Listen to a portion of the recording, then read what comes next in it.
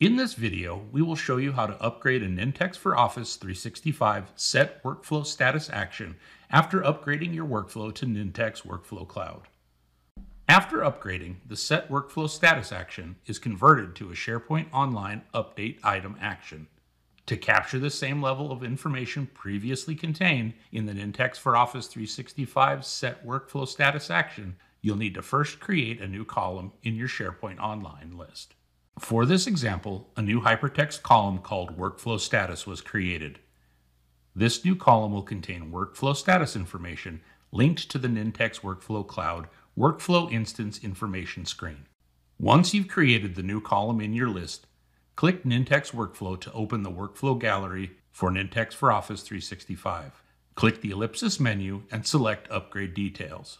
When the Upgrade Details panel displays, it shows that the set workflow status actions are not supported in Nintex Workflow Cloud. Click Upgrade Workflow to start the upgrade process. You will receive a notification about the upgrade process. After reviewing, click Start to begin. The workflow is added to the queue and then upgraded. When you see upgrade successful, click OK to close the workflow upgrade prompt. Once your workflow has been upgraded, select it within Nintex Workflow Cloud. After it loads, you'll see that some actions are unconfigured. Click the Workflow Upgrade Details link in the upper right corner of the screen. The Workflow Upgrade Details panel opens and displays the items requiring additional configuration prior to publishing. To start, you'll want to create a new text workflow variable. This variable will be used to store the URL for your Nintex Workflow Cloud workflow instance. The URL should be similar to Enter a name for the new variable and paste your Nintex Workflow Cloud Workflow Instance URL in the default value field. When complete, save the new variable.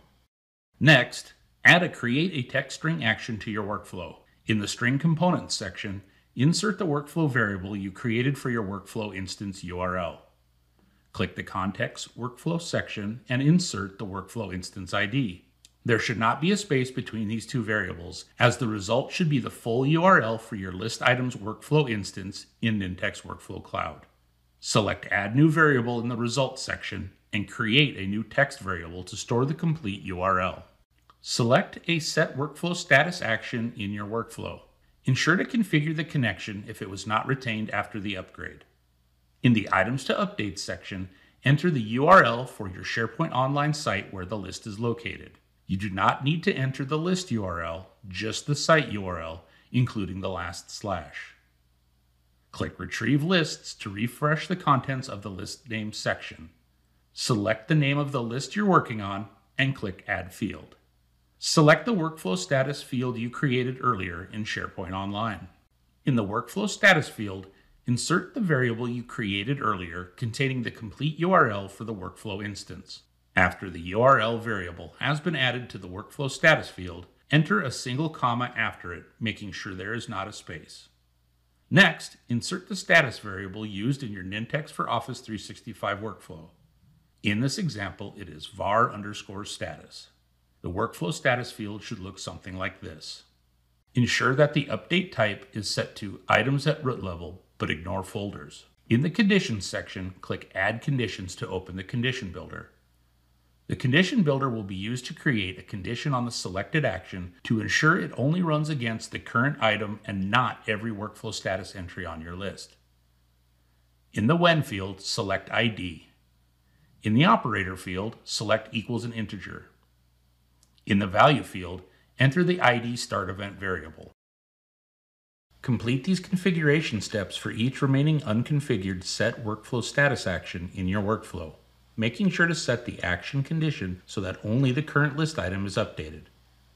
In this example, since all the set workflow status action items function in the same way, the first fully configured one is copied and pasted near the unconfigured actions. Then the unconfigured actions are deleted.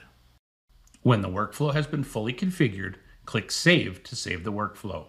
Once saved, click Publish to begin publishing the workflow.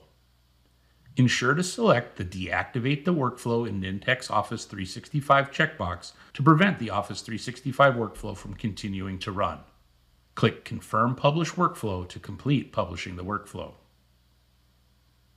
When publishing is complete, Click Close Designer to exit. Review the Office 365 Workflow Gallery to verify that the original workflow has been deactivated.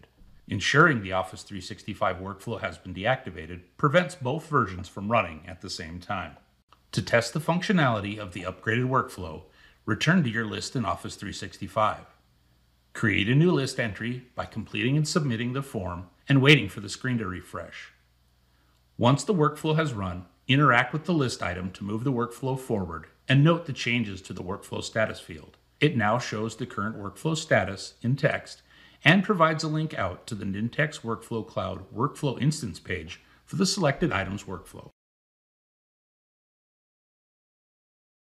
If you want to find out more on the Office 365 to Nintex Workflow Cloud upgrade, refer to the Upgrade Center section of Nintex Customer Central or the Upgrade Center group on Nintex Community.